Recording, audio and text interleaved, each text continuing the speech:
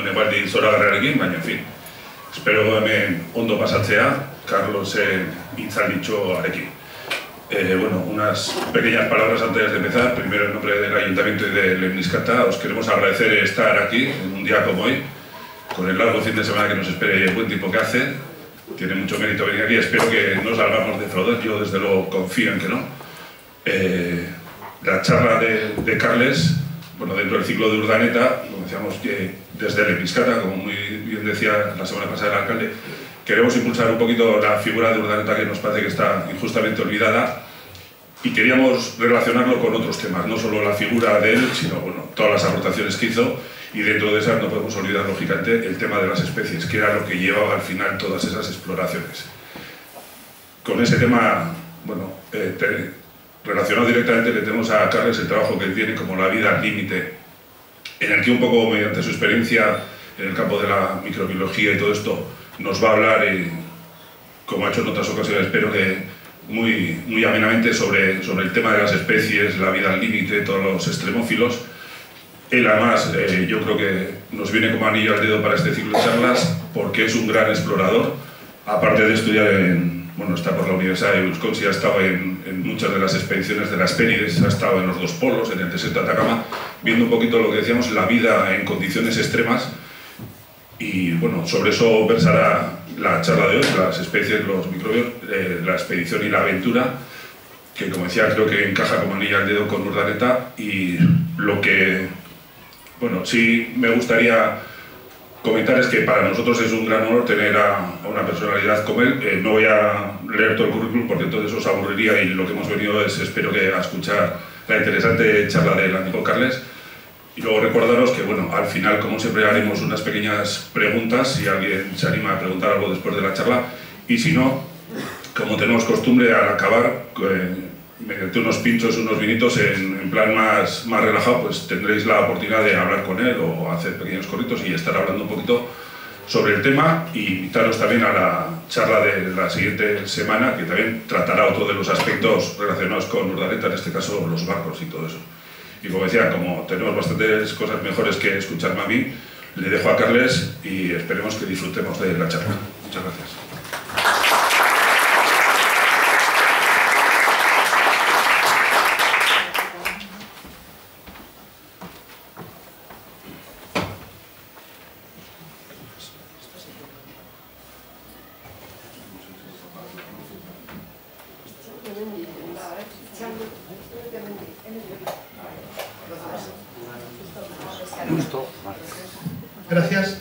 eh, gracias por haber venido eh, y muchas gracias a Goyo, a Lemniscata, al Por darme la oportunidad de contarles algunas de las cosas que a mí más me apasionan. Confío que al final de la charla también les apasione un poquito a ustedes. Entonces la, la charla se titula así, Especies y Bacterias, Aventura o Exploración. Y bueno, aquí tenemos las especias y todos sabemos que una de las causas más importantes de las exploraciones que se hicieron en el siglo XVI era conseguir estas especies. Ustedes saben muchísimo más que yo sobre Urdaneta, de forma que no voy a decir nada más que un par de cosillas. Eh, como saben, los corrientes en la zona tropical del Pacífico van hacia el oeste, por tanto viajar de América a Asia era relativamente sencillo, bueno, sencillo, a favor de la corriente, pero volver, claro, era en contracorriente, entonces eso no había manera. Y volver por aquí implicaba pelearse con los portugueses, cosa que tampoco tenía mucha gracia. De forma que haber encontrado esta ruta, donde las corrientes sí que iban hacia el este, pues significó que se podía hacer ese comercio de especias sin pelearse con los portugueses. Pero bueno, ¿por qué son tan importantes las especias que merezcan estas exploraciones, la cantidad de recursos, de vidas humanas que se dedicaron? Es decir, ¿qué tienen las especies que merezcan este esfuerzo? Entonces, claro, eh, una cosa es que nos gustan. Es decir, están buenas y nos gustan, pero caramba, nos gustan tanto como para merecer este esfuerzo, como para pagar las cantidades de dinero que se pagaban en esa época para conseguir las especias. Entonces, claro, tiene que haber algo más. Y el algo más es lo siguiente. Las especias son de muchos colorines, son muy atractivas, tienen sabores muy diferentes, le dan a la comida un giro distinto y lo que ocurre es que es muy curioso cómo están distribuidas de forma tan diferente en distintas culturas. Por ejemplo, aquí tienen ustedes dos recetas de pollo. Esta receta de pollo tiene una especie, perejil. Y esta otra receta de pollo tiene 10 especies. Esta es de Noruega y esta es de la India. Hay una diferencia brutal entre la cantidad de especies que utilizan los distintos países. Y esto está relacionado con la temperatura. Si uno mira un mapa del mundo, aquí tenemos América, eh, Europa, África, etc., las temperaturas más altas, lógicamente, están en la zona tropical y a medida que uno se aleja hacia los polos, pues se va enfriando. Noruega está aquí utiliza una especie. La India está aquí y utiliza muchas especies. Esto ya nos va dando una pista de qué, cuál es la razón de que las especies nos gusten tanto. Entonces aquí tienen una serie de especias colocadas en espiral, cebolla, pimienta, ajo, guindilla, lima, perejil, etc. en esta espiral y ahora las verán en una línea recta en la siguiente gráfica. Están aquí, ya sé que no lo pueden leer, pero son cebolla, pimienta, ajo, etcétera, etcétera, especias. Y lo que quiero que se fijen primero es solamente en estas columnas de color oscuro, las negras. Lo que indican estas columnas, aquí es el 100%, aquí es el 0%, pues indican que la cebolla inhibió al 100% de las bacterias con las que se probó, a ver si las inhibía o no. De todas las bacterias que se probaron añadiendo cebolla, todas quedaron inhibidas. Aquí tenemos la, pimienta no tantas, pero el ajo otra vez 100, en fin, hay muchas especias que inhiben a la mayor parte de las bacterias. Y aquí está la clave del tema, porque en los países cálidos, como la temperatura favorece la actividad biológica, pues las bacterias van a crecer más rápido y se necesitan más especias para contrarrestar ese crecimiento. De hecho, los seres humanos somos ecólogos microbianos sin saberlo. Hemos estado desde el origen de nuestra especie intentando que los microorganismos no nos destruyeran la comida y no la estropearan y que nos la pudiéramos comer. Y las especies son un mecanismo más para conseguir este objetivo. Por lo tanto, no es extrañar que nos gusten tanto, porque lo que estamos haciendo es favoreciendo nuestra salud. Lo siguiente que quiero que se fijen es en las columnas marrones y verdes. Estas lo que indican es el número de recetas que llevan cebolla de recetas de platos de carne, en marrón, y en verde de recetas de platos vegetarianos. Y verán como siempre la columna marrón es más alta que la verde. Marrón, verde, marrón, verde, en todos los casos. Es decir, las, recetas de, carnívoras, digamos, tienen más especias que las recetas eh, vegetarianas. Y la razón de esto está en que las células de las plantas tienen una pared de celulosa muy dura y tienen una acidez interna que inhiben también el crecimiento bacteriano. Por tanto, son más difíciles de degradar para las bacterias. En cambio, las células de los animales, las de carne, no tienen esa pared y no son tan ácidas. Por tanto, también son más fáciles de degradar. Y eso explica que utilicemos más especias para la carne que para los platos vegetarianos. Es decir, que aquí se ha explicado el enigma de las especias de por qué eran tan importantes. Si nos fijamos en la cocina, de hecho esta es la cocina de mi casa, eh, no se ve muy bien, pero aquí tenemos el especiero. Como ven, me gustan mucho las especias, utilizamos unas cuantas, pero lo que llama la atención es la cantidad de aparatos que tenemos en nuestra cocina, en ese laboratorio de la, de la alimentación, para controlar la temperatura. Aquí tenemos un microondas, tenemos unos fogones y tenemos un horno. Todos son instrumentos para elevar la temperatura. Y aquí tenemos la nevera y el congelador, que son instrumentos para bajar la temperatura. ¿Por qué tenemos tantos aparatos para subir y bajar la temperatura? ¿Qué tiene la temperatura que es tan importante con nuestros alimentos? Entonces, el resto de la charla voy a comentar primero de las altas temperaturas y luego de las bajas temperaturas. Entonces, eh, la, primera, la primera mm, parte va a ser de las temperaturas elevadas y mm, lo que ven en esta, en esta gráfica son temperatura, aquí están 0 grados y aquí están 110 grados, temperatura de frío a caliente, y aquí tenemos la velocidad de crecimiento de distintas bacterias. Entonces vamos a elegir primero una bacteria que se ha convertido en el conejillo de indias de la biología, que es Escherichia coli. Escherichia coli es una bacteria que crece en nuestro intestino y también en el intestino de todos los mamíferos prácticamente, y que la utilizamos en las aguas como un indicador de contaminación. Cuando es una bacteria que es muy bien conocida, que se trabaja mucho con ella y de la que sabemos muchas cosas. Pues si se fijan, tiene la velocidad de crecimiento más alta aquí a unos 38 grados. Si subimos la temperatura un poquito, deja de crecer, ya no puede crecer. Si bajamos la temperatura, va disminuyendo la velocidad de crecimiento hasta que a 10 grados ya no es capaz de crecer. ¿eh? ¿De acuerdo? Esto es como son la mayor parte de las bacterias. Les gusta crecer a temperaturas próximas a nuestra, a nuestra temperatura corporal, a los 37, 38 grados. Eh, si la temperatura es más baja, crecen menos, si es más alta, pues también dejan de crecer.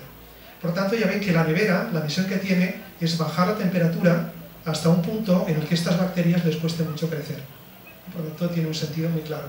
Como se crecería más lentamente, pues aprovechamos para conservar mejor los alimentos. La otra cosa que quiero mostrarles es que aquí hay una bacteria que crece por debajo de 0 grados, a 2 o 3 grados bajo cero. Y ustedes me dirán, ¿cómo puede ser que crezca a 3 grados bajo cero si el agua se congela a 0 grados? Ahí no se puede crecer. Bueno, eso es cierto para el agua destilada, pero si uno añade sal, por ejemplo el agua de mar no se congela a 0 grados, sino a menos 1,8. Y si uno añade más sal, se congela a menos temperatura. Y si uno le añade etilenglicol, como hacemos con nuestros coches, pues hasta menos 20 no se congela. Es decir, que añadiendo determinados solutos al agua conseguimos que se congele a temperaturas más bajas.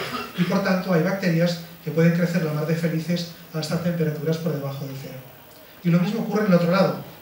Aquí tenemos una bacteria que crece, su óptima temperatura está a 100 grados, pero puede crecer hasta 112 grados. Y otra vez dirán, ¿cómo puede ser si a 100 grados hierve el agua y por tanto eh, aquí hay vapor de agua, no va a crecer en el vapor?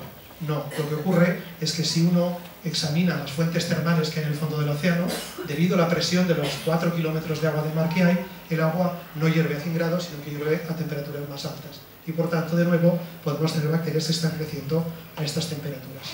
Ya se dan cuenta de que nosotros, la verdad es que somos unos flojos. ¿eh? Podemos crecer eh, o vivir a un rango de temperaturas muy parecido al de Escherichia coli. Pero si nos ponen por aquí debajo o nos ponen por aquí, lo pasamos muy mal. Y realmente, cuando estamos hablando de la vida al límite, de quien estamos hablando son de los microorganismos, que son los que son capaces de llegar a esos, extremos de temperatura y de otros muchos parámetros ambientales. No de nosotros, que, en fin, siempre hacemos trampa. Nos ponemos ropa, eh, nos ponemos aire acondicionado, en fin, hacemos trampejas para, para tirar. Pues bien, vamos a empezar a, a mirar una de las cosas que estamos estudiando, y es que son las bacterias que crecen a altas temperaturas. De hecho, el agua calentita nos gusta a todos. No hay duda de que todos nos encanta darnos un bañito ahí en aguas vaporosas y estar calentitos y tal. Y estos macacos de Japón también, así que ellos están eh, encantados de tener este agua. Pero el tema está, ¿qué ocurre cuando vamos a temperaturas más altas? Aquí tenemos un geyser, el campo de geysers del Tatio, en el norte de Chile, cerca de Atacama, y aquí ven el geyser, cómo está saliendo el vapor de agua, luego el agua va escurriendo y se va enfriando, y aquí ven unas masas de color naranja y otras masas de color verde. Todas estas masas son tapetes formados por bacterias. Es decir, hay tantas bacterias que llegan a formar un tapete que uno puede ver y tocar y recoger. Y dan estos colores pues, que son realmente muy, muy intensos. Lo que ocurre es que incluso donde el agua está hirviendo, también hay bacterias que son capaces de crecer en esta zona. Es decir, que, como decía, lo de la vida al límite es una cosa que las bacterias son las que son las dueñas de crecer a, a distintas temperaturas. Entonces lo que les voy a mostrar es, eh, para hacer un poco el tema de la exploración, es cómo recogemos las muestras en algunos de estos lugares. Este es un lugar en el sur de Chile, en la Patagonia chilena.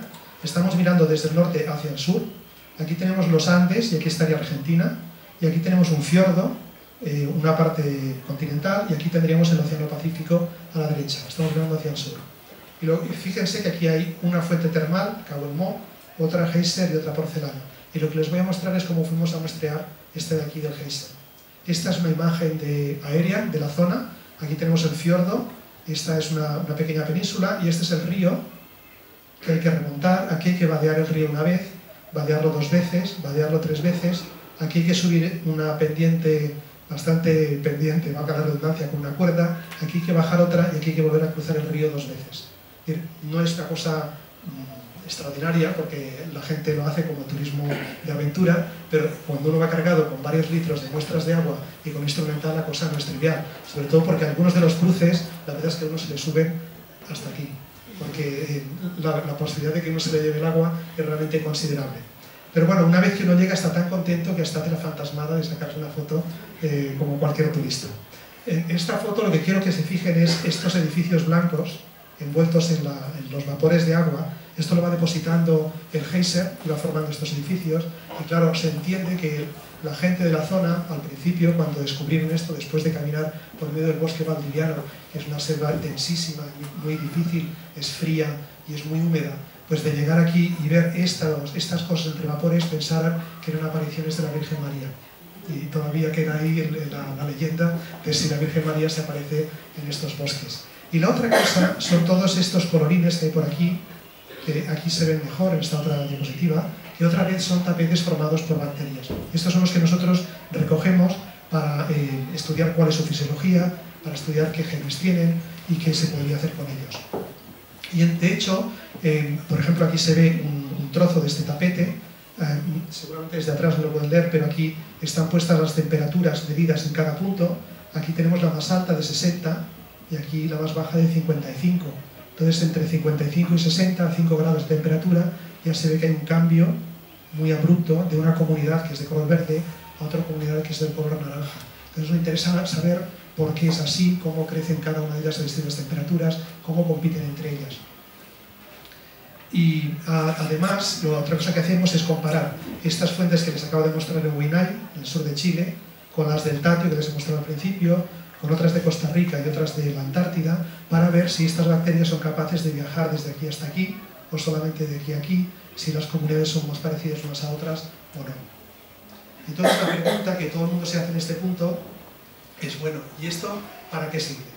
Sí, muy bonito, bueno, muy, que está muy bien, no sé qué tal, pero esto ¿para qué sirve?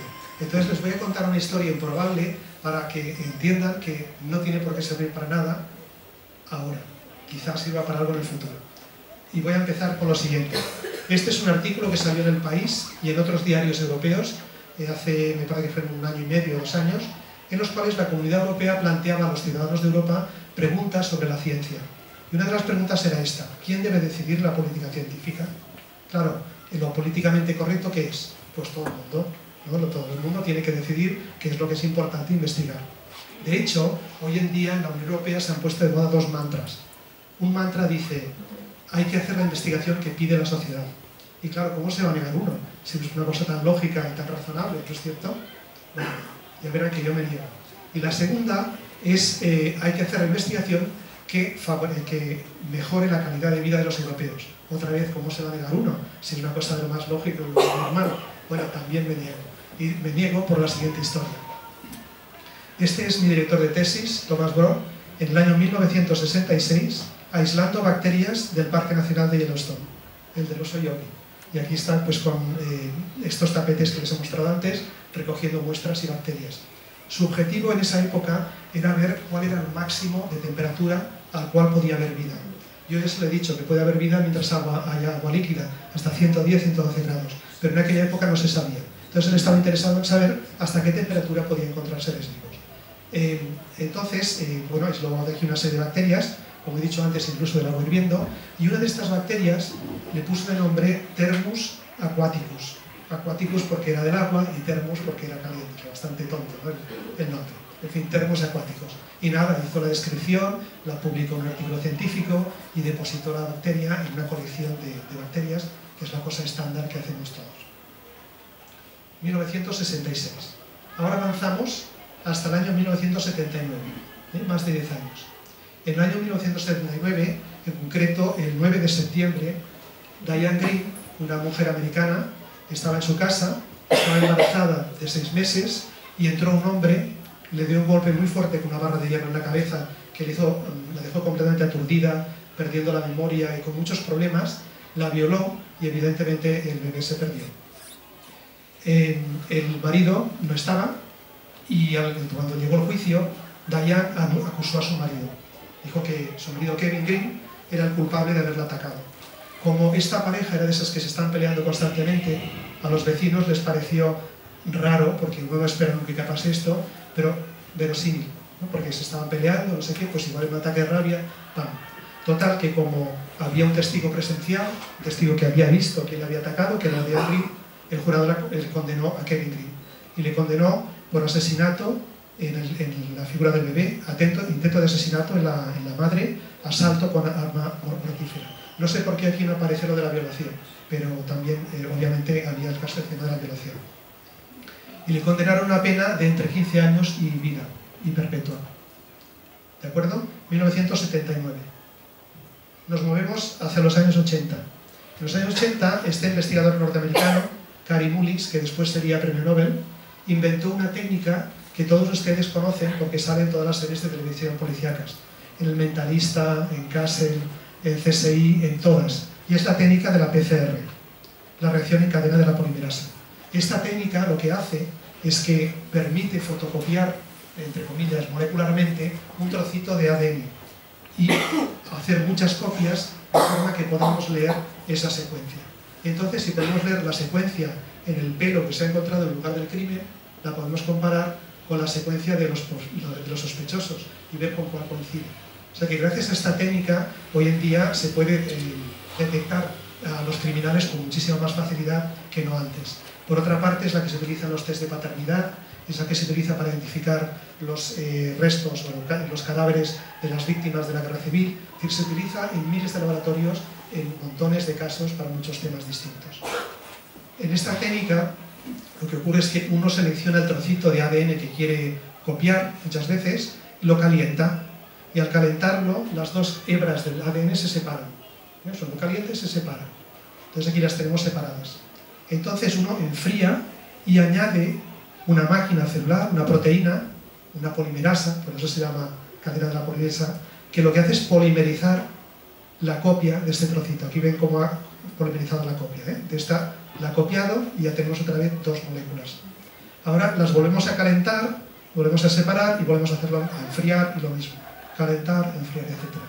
Y con este procedimiento, como es una progresión geométrica, al cabo de 30 ciclos o así, tenemos muchísimas copias que podemos leer porque una sola no tenemos tecnología para leerla, pero muchas sí. Entonces, ¿qué, ¿cuál era el problema? Claro, cada vez que uno calentaba la proteína, ya saben ustedes qué le pasa a los huevos cuando los calentamos, ¿cierto?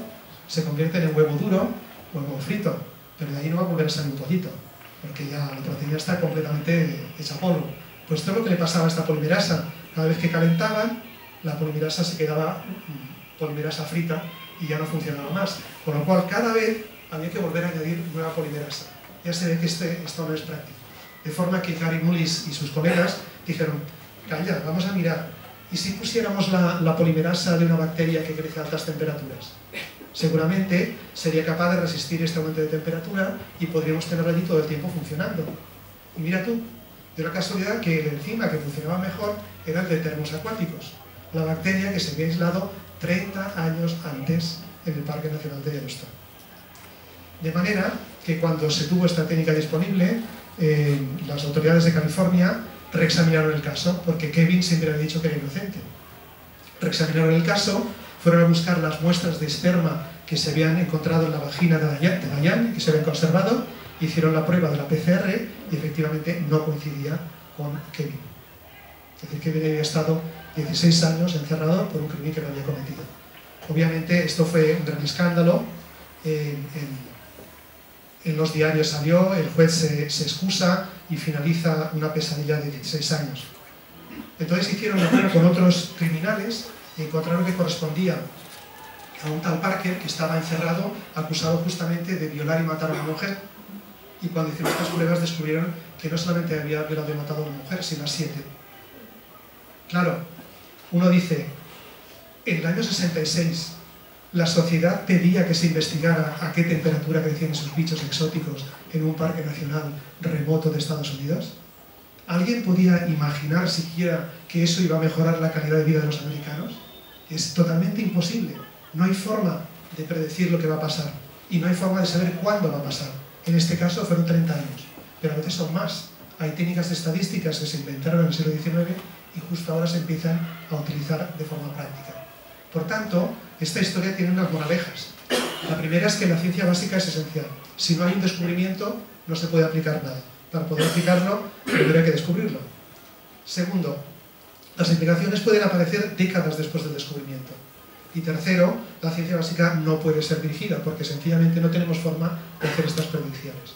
Por eso cuando la gente repite insistentemente, no solo los políticos, sino también los científicos, muchos de nosotros, eh, cuando buscamos fondos para investigar, somos capaces de aliarnos con el diablo. Es una cosa que no deberíamos hacer, pero yo creo que todos somos culpables de, utilizar estos mantras que suenan muy bien, pero que como se ha visto con este caso, son falsos. Bueno, vamos a aligerar un poco el tema, porque esto ha sido muy, muy heavy, y vamos con el frío y la exploración. O sea, justo al, contrario de temperatura.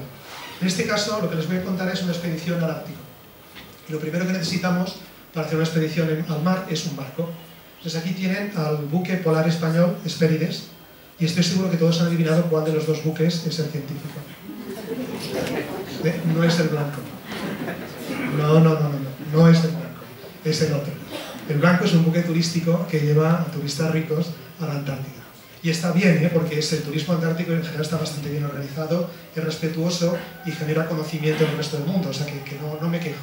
Y el experiencia es razonable, o sea que no, no pasa nada. Pero da idea de las proporciones en, en, las que se dedican los recursos en nuestra sociedad. Bien, de todas formas, esta campaña en el Ártico no fue con el, con el Hesperides, sino con el Amundsen, que es un rompehielos canadiense, y aquí tiene una visión del Polo Norte, todo este de color azul celeste es mar congelado, la parte rosa es hielo, Groenlandia saben que está cubierta de hielo, y la parte rojiza y naranja es el permagel, es el suelo que está casi siempre congelado. Entonces la mar roja está, solo se, se funde en, en, verano un par de centímetros superficiales y a medida que uno va hacia el sur, pues cada vez se funde más trozo hasta que ya no hay permagel. Esto se le llama la, la criosfera. Entonces lo que hizo este, este buque, el Amundsen, fue eh, salir de Quebec, que es su base, y navegar por aquí hasta el Ártico en otoño. Entonces dejó que llegara el invierno, que el mar se congelara a su alrededor, y estuvo allí pues, hasta que se acabó el año, estuvo un año entero. Y claro, esto, eh, aquí tiene una imagen del, del rodeado de hielo en pleno mes de, de noviembre, me parece que es, de 2003. Eh, claro, esto es genial porque nos dio la oportunidad de poder estudiar el Ártico durante el invierno.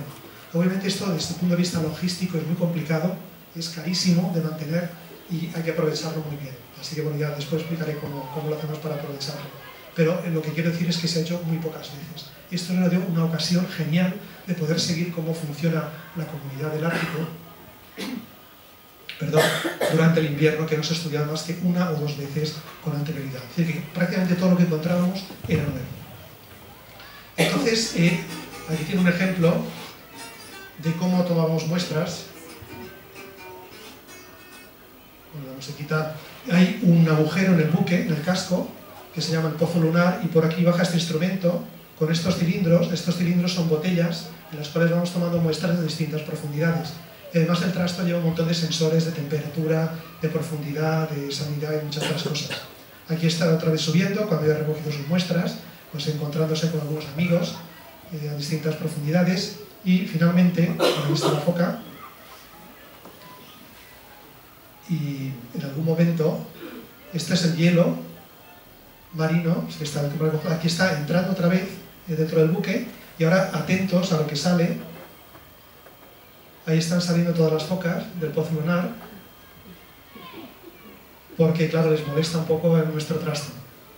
Y lo que ocurre es que claro, este pozo lunar, visto desde arriba, aquí tiene una, dos, tres, cuatro focas, es un sitio donde puedes respirar, pero es un sitio donde puedes respirar sin temor a los osos polares. Pero claro, en el buque no hay polares, llámales tontas. Evidentemente las teníamos aquí constantemente subiendo y bajando a respirar porque sabían que era un respiradero seguro.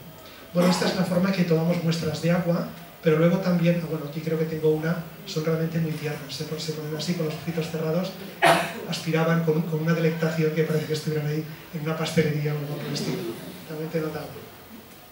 Entonces, eh, esas son las muestras de agua, pero las muestras de hielo las tomamos, hay que salir al, al mar, esto es el mar congelado, el buque está aquí parado, y hay que llevar siempre la radio, porque el, el puente tiene que saber siempre dónde está todo el mundo, puede haber un blizzard, puede haber cualquier problema y hay que estar siempre todo muy controlado. Y otra cosa es el rifle, porque evidentemente hay osos polares y me, dicen que creo que son el 80% de los osos polares tienen miedo de nuestra especie y si nos huelen, incluso antes de vernos, si nos huelen, se van por otro lado y ya no hay ningún problema.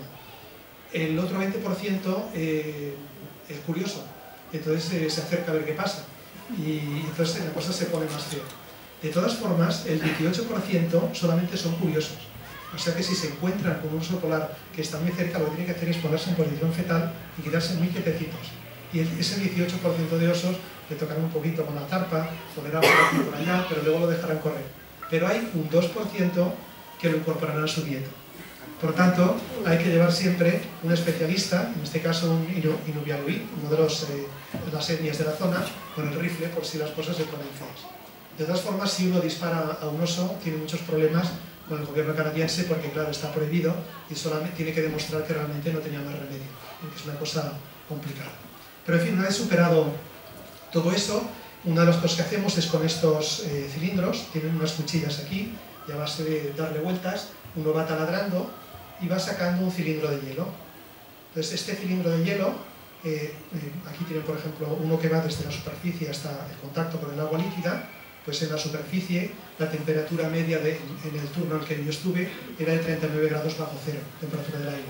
Y la temperatura del agua, como hemos dicho, se congela a menos 1,8, o sea que aquí hay menos 1,8 grados. Por lo tanto, las condiciones desde aquí hasta aquí varían de forma dramática, varían muchísimo. Nosotros queremos saber si hay vida aquí, dónde está y cómo, cómo reacciona a ese distinto, distinto tipo de circunstancia. En este caso, esta era nuestra jefa de campaña y está aquí con un sensor de temperatura midiendo las temperaturas a lo largo de todo el cilindro. Después, uno con una tecnología muy sofisticada, como pueden ver, pues se corta trocitos de hielo, esos trocitos de hielo se colocan en bolsas, se marcan, se etiquetan, se lleva al laboratorio y uno puede fundir el hielo, por ejemplo, y ver lo que hay, o hacer determinaciones químicas, eh, contar microorganismos, si es que los hay, y todo ese tipo de cosas. Y con los trozos de hielo que sobran, pues si uno tiene aspiraciones artísticas, eh, siempre puede hacer una obra de arte que quedará allí pues para, para, los zorros y para los osos, no para mucha gente más, y que además es más bien un happening que una obra de arte, porque cuando dé la primavera esto se va a fundir y todo ese arte va a desaparecer eh, en medio del océano glacial ártico. Me encuentro que es muy poético, ¿no? crear una obra de arte que se va a deshacer al llegar la primavera. Pero bueno, con los que, los que estudiamos, pues aquí tienen unos estos cilindros, no sé si lo podrán apreciar desde donde están, pero verán que no es una cosa homogénea, tiene como rugosidades, no sé si lo ven. No es, no es, como el cubito que sacamos de la nevera, que es un bloque de hielo mm, perfectamente terso, sino que tiene una serie de irregularidades. Esto se debe a una razón, y es que cuando se va congelando, se va enfriando el agua de mar en otoño se va congelando, las moléculas de agua forman parte de los cristales de hielo, pero las de sal no, el cloro y el sodio, el cloruro sódico, se quedan fuera del hielo. Entonces lo que hacen es aumentar la concentración de sal en el trocito de agua que queda. Y a medida que más moléculas de agua van pasando a hielo, esa, esa solución va siendo más salada. Y como es más salada, aguanta sin congelarse hasta temperaturas más bajas. Y tenemos aquí un círculo, no sé si vicioso o virtuoso, en el cual se genera una estructura de hielo llena de cavidades con salmuera muy salada y muy fría. ¿Sí? Bien, entonces ahora les voy a pedir que hagan un experimento mental. Imaginen que tenemos una resina líquida y que la podemos colocar aquí arriba. Entonces esa resina va a entrar por estos canales y, va a colocarse y rellenar todos los huecos que hay dentro de este bloque de hielo. ¿Sí? ¿Lo tenemos ya visualizado? Vale. Entonces lo que hacemos es dejar que esta resina se solidifique. ¿De acuerdo? Y entonces lo que hacemos es fundimos el hielo.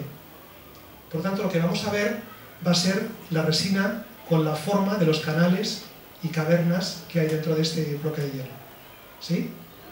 Seguro que ya han imaginado lo que vamos a ver en la siguiente diapositiva, ¿no? Tiene una hipótesis de trabajo. Esto es lo que se ve. O sea, la cantidad de canales, de cavidades, de cavernas que hay metidas en el hielo es alucinante. Y todas ellas están llenas de esa salmuera fría y salada. Es un ambiente doblemente extremo por la gran cantidad de sal y por la baja temperatura. Entonces, ¿habrá seres vivos capaces de vivir aquí? Por supuesto una salmuera es agua líquida, por lo tanto, seguro que hay seres vivos que están, son capaces de vivir ahí. De hecho, el hielo es un ecosistema brutal, porque tenemos arriba la nieve, en la cual hay bacterias, luego tenemos una interfaz entre la nieve y el hielo, que también hay otro tipo de bacterias, luego tenemos distintos tipos de hielo, con aquella diferencia de temperatura que les comentaba de la, del aire y la del agua, tenemos canales interiores rellenos de microorganismos y tenemos una serie de microorganismos que igual que los de los tapetes de las fuentes termales crecen tanto que llegan a formar masas visibles que cuelgan del fondo del hielo. Entonces, para que me crean, eh, les voy a mostrar un vídeo en el que un buzo está navegando por aquí, buceando por aquí debajo y filmando todas estas masas de algas. Pues aquí ven como este es el, hielo, la, parte blanca es el, techo de hielo, en la superficie del mar congelado, y toda esta masa de color marrón verdoso son algas diatomeas que están creciendo justamente debajo del hielo. Eh, estas son las más visibles porque están debajo, pero también las hay dentro del hielo. Recuerden que en cualquier momento del, año hay en la, Tierra 10 millones de kilómetros cuadrados de mar congelado. A veces en, el Ártico y a veces en la Antártida, realmente va cambiando. Pero lo que, lo que eso representa es que este ecosistema es un ecosistema de los más extensos que hay en el planeta, mucho más que muchos ecosistemas terrestres. Entonces aquí tienen fotografías al microscopio óptico de distintos trozos de hielo con algas en su interior. Y ven que hay dos dentro de una cavidad muy pequeñita, aquí hay otra, aquí hay otra más grande, etc. Estas dos, las pobres, están en un piso de esos de protección oficial, oficial o algo así, porque ya ven que realmente no tienen mucho espacio para sobrevivir. y es peor que eso, porque a medida que avanza el otoño y el invierno, como la temperatura va bajando, hay más y más salmuera que se va congelando. El que si se imaginan que ustedes y yo somos esas diatomeas, y esto es la cavidad dentro del hielo, a medida que se acerca el invierno, el techo se va acercando, las paredes también, y corremos el riesgo de que nos aplasten. Eh, estas lo tienen mal, me parece. Pero, eh, para demostrar que estas algas no es que estén aquí sobreviviendo, sino que están adaptadas a vivir aquí, fíjense en esta de aquí, que tiene un piso estupendo. Entonces, lo que hace es formar unos, una mucosa en el exterior, que aquí está teñida de color azul, y esta mucosa lo que hace es evitar que la salmuera se congele a su alrededor, de forma que puede mantener las paredes y el techo en su sitio. Y que no es que estén ahí aguantando lo que puedan hasta que se mueren, no, no, es que están adaptadas a vivir justamente en estas circunstancias tan extremas. Entonces, si hay algas, eh, va a haber alguien que se las come, porque en este mundo siempre hay alguien que se come a otro. Entonces, eh, aquí tienen al krill, unos crustáceos, que se están comiendo un polo de algas. Este es el hielo, este color marrón se debe a las muchas algas que tiene dentro y están ahí comiéndose ese polo de algas durante el invierno todo lo que pueden. De hecho, si no fuera por este alimento, no podrían sobrevivir durante el invierno. Y aquí tienen otra vez otro vídeo en el cual se ve pues, la gran cantidad de krill que puede haber en este ecosistema. De nuevo recuerdo 10 millones de kilómetros cuadrados de este ecosistema. No es una broma, es una cosa realmente muy considerable. Y claro, una vez que hay krill, pues también hay eh, otra serie de organismos como anfípodos, eh, hay pececillos, y los pececillos se los comen las focas y las focas se los comen los osos polares. O sea que todo este ecosistema que nos muestra David Attenborough en los documentales de la BBC, eh, la, foca leopardo que le persigue o el oso polar que está detrás de él, no existiría si no fuera por este ecosistema microbiano que está creciendo en el hielo. Hay organismos que crecen dentro del hielo, en los canales más anchos, o los que crecen colgando por debajo. Y todos estos microorganismos son los que hacen posible que veamos esa fauna tan atractiva de pingüinos en el sur y esos polares en el norte. Pero si no, repito, estos seres vivos no podrían existir. Es decir, que la base de todas las cadenas tróficas en el planeta son los microorganismos y no los bichos más grandes que suelen verse por ahí. De hecho, la mitad del aire que estamos respirando ustedes y en este momento, la mitad del oxígeno que estamos respirando, procede de los microorganismos marinos. La otra mitad la fabrican las plantas en tierra, pero la mitad procede de los microorganismos marinos. O sea que ya se ve que tiene una importancia enorme en temas como el cambio climático y por supuesto en nuestra supervivencia. Pero entonces la cosa es esta.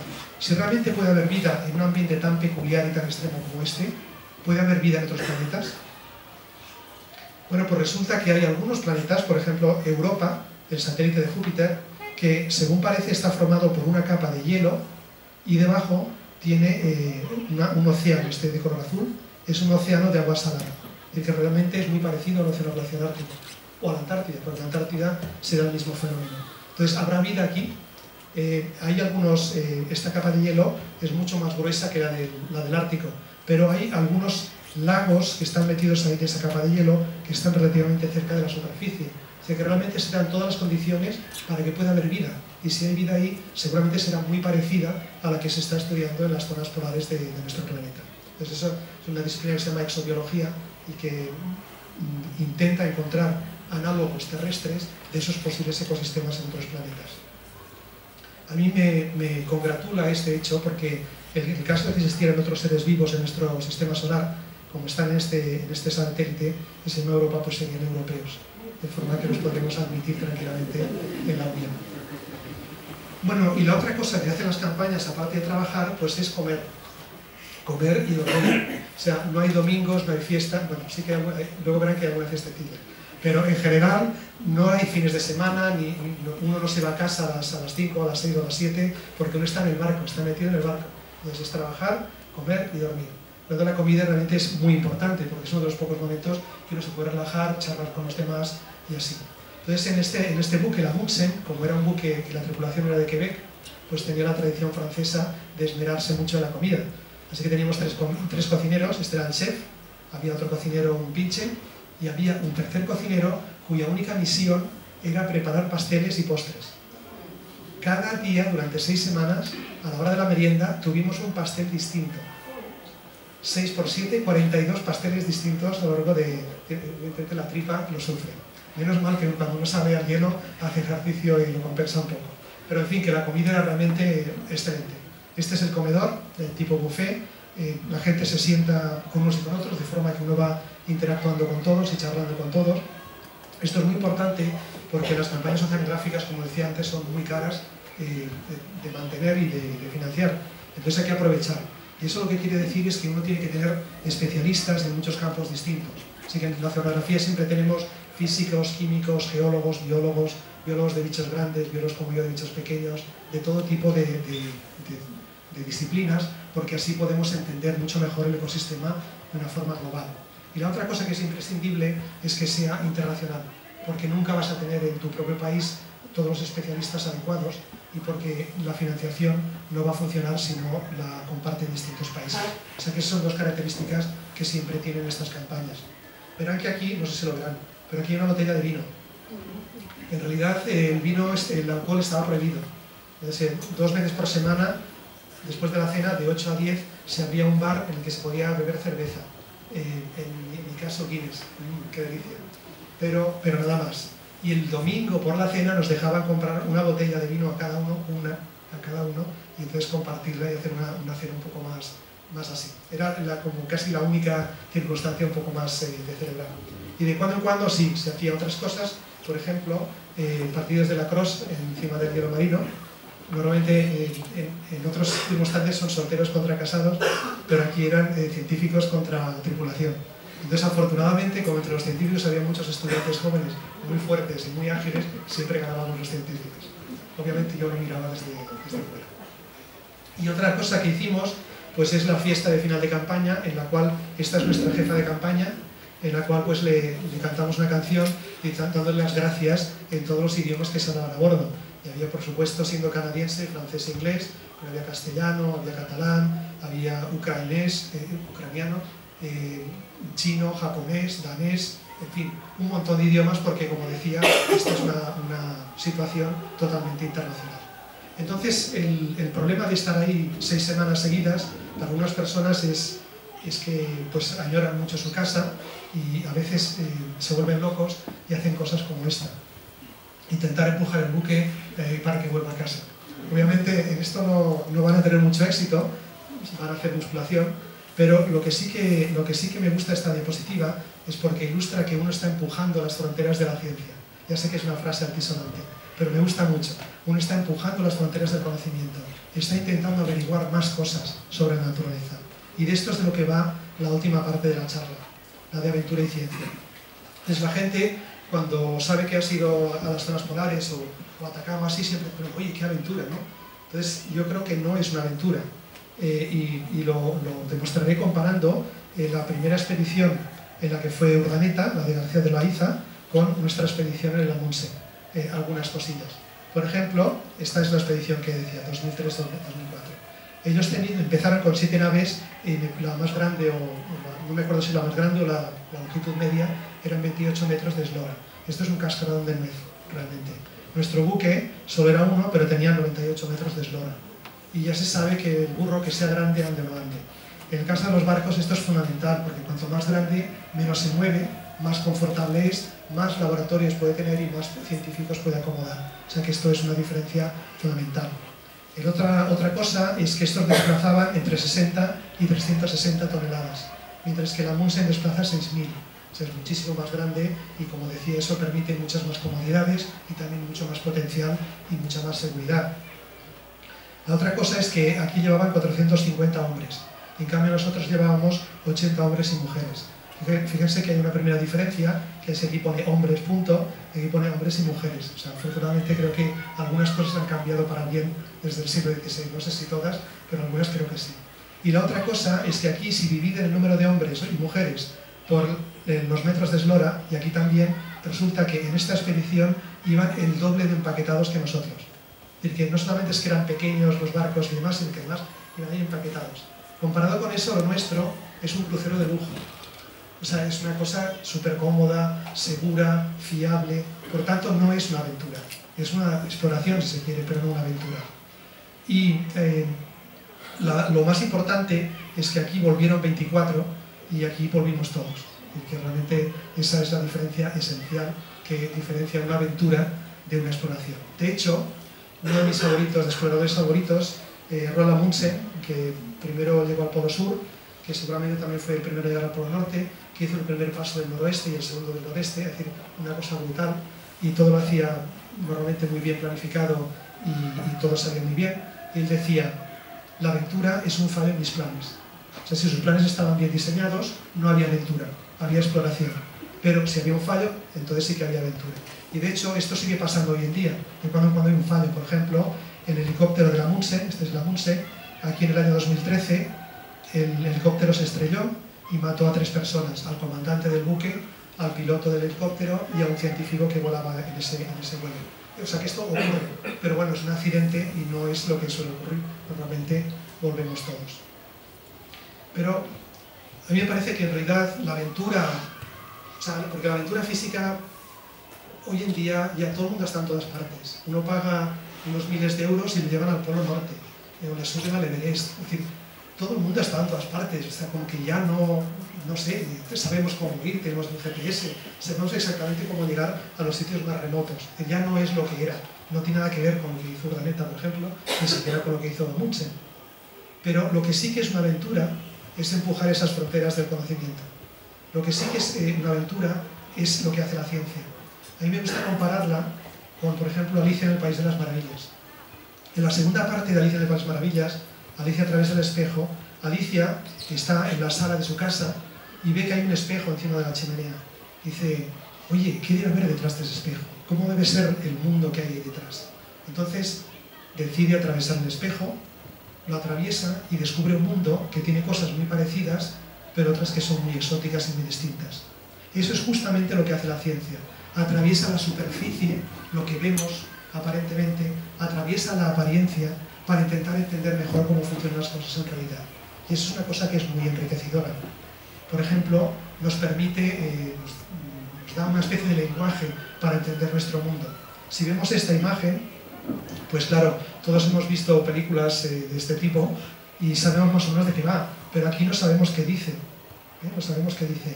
Esto es lo que le ocurre a una persona que no se ha mm, planteado leer algo de ciencia cuando se confronta con la naturaleza ve cosas, pero no es capaz de interpretarlas. En cambio, si conoce un poquito de ese lenguaje, no hace falta que sea un experto, pero si conoce un poquito, por ejemplo, todos sabemos un poquito de inglés, pero enseguida vemos que dice la, edad de hielo y dice aquí entrar aquí.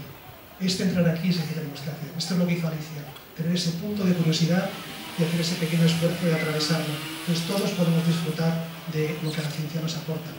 Y acabaré pues, eh, mostrando las auroras boreales, porque evidentemente es un espectáculo extraordinario, es una cosa maravillosa de ver. Pero a mí además me gusta saber que para los inuit son sus antepasados que van contando las tradiciones de su cultura.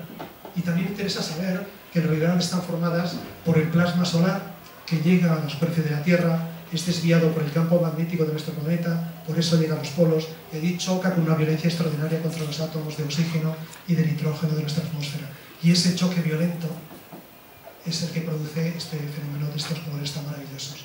Creo que mirar la naturaleza desde esos tres puntos de vista, cultural, este, como espectáculo, estético y desde el punto de vista científico, hace que nuestra vida pueda ser mucho más rica de lo que sería así. De forma que muchas gracias por su atención.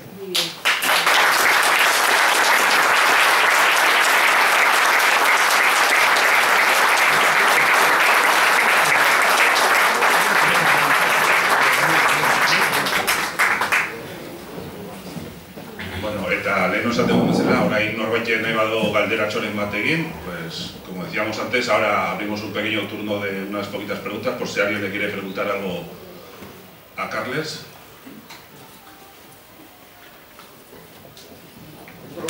ahí hay una... Vale, claro, no nos da el micrófono. Eh, soy Marcos de Ocel. Si queréis preguntar en voz alta, Bueno, hemos hablado de especies, pero hay una especie que incide en todo, que es la sal. ¿Eh? Es como especie, no es como un conglomerado, en fin, ¿eh? la sal. Sí, sí, la, la sal además eh, es otro de los elementos que hemos utilizado más intensamente para proteger los alimentos. ¿no? El jamón es un ejemplo clarísimo de cómo utilizar el bacalao. Antes, del frío, ¿eh? la sal. sí, sí, sí, sí, desde luego. Y además también tiene buen sabor.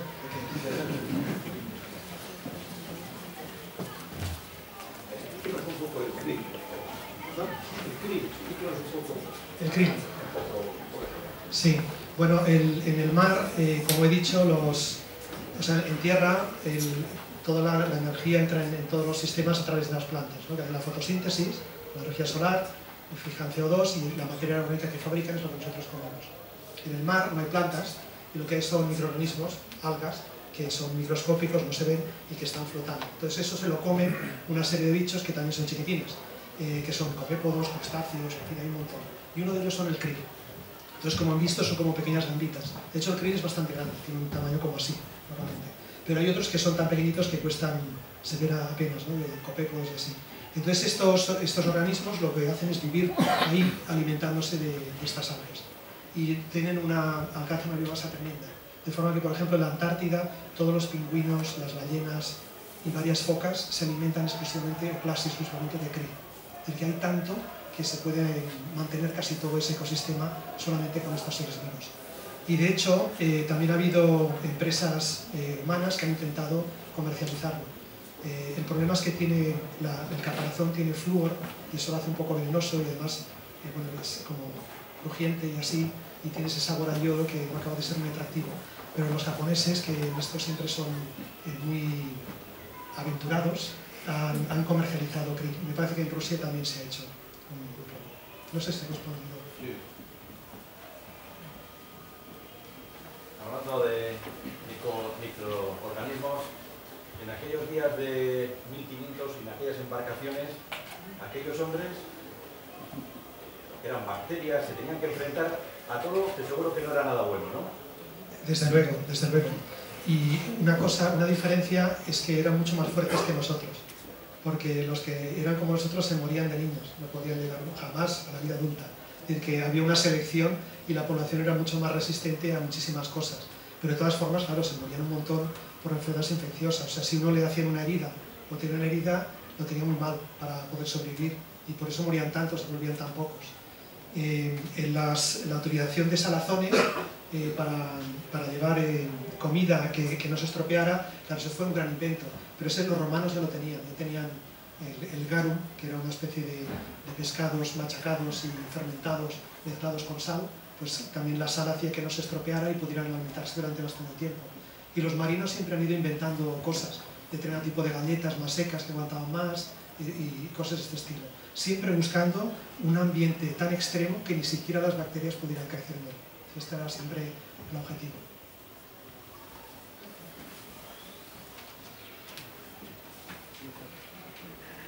Bueno, pues yo creo que podemos dejar aquí, como decía antes, nos podemos juntar ahí a la salida que habrá unos pinchos, unos, unos tragos, pues para poder seguir un poquito más la tertulia tranquilamente en otro ambiente. Y recordar también que abajo está la exposición sobre los exploradores del 19 y que la semana que viene tendremos otra, otra interesante charla. Pues muchísimas gracias y hasta...